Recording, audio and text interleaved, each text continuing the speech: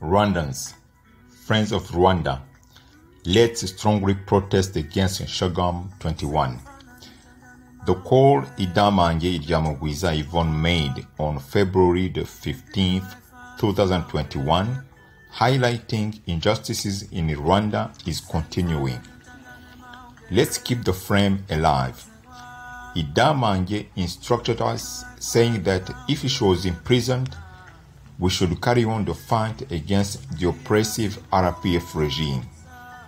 That regime is readying itself to host the heads of government meeting, a gathering of countries speaking English, and many of them are former British colonies.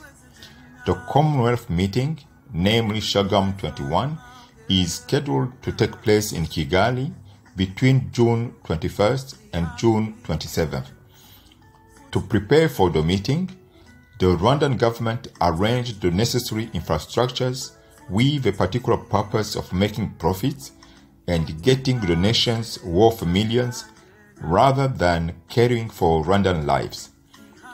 Think about the fact that Kigali took massive loans to build impressive accommodations to host the conference, but failed to give decent salaries to the teachers jokingly called Gakweto, the one whose shoes have holes in them. Consider that the Rwandan regime doesn't worry about the misery and hunger that the majority of Rwandans experience, except the small group of leading elite. Consider again that the one connected investor dispossessed the poor people in Kigali and these were chased away from their properties without any compensation. And finally, consider that according to the ruling RPF, getting ready for the conference meant cleaning and removing from the capital Kigali any dirt, including those at the bottom of society, the homeless, and the street vendors, abazunguzayi, all these people being seen as rubbish to get rid of. Preparing for CHOGM 21 translated into chasing and keeping silent those opposing the regime who are considered as enemies of the state.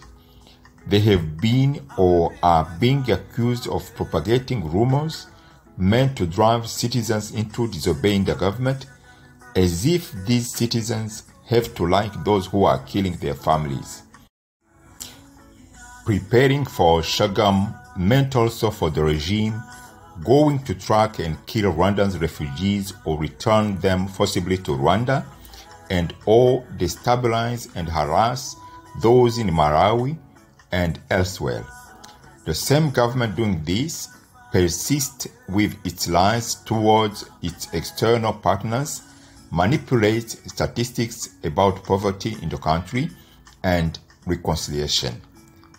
Rwandans, friends of Rwanda, because of all these and many other issues not raised here, you understand that we have many reasons to go out in the street and protest again for the third time in a row on May the 14th at 3 o'clock in the afternoon, Brussels time, and online on May the 15th at 5 o'clock in the afternoon, Bristol time. On Friday, May the 14th, the coverage of the global protest will be done by the studio Bombori Bombori. Radio Urumuri will cover the online protest on Saturday the 15th. We vividly invite you to participate to both protests in big numbers. Thank you.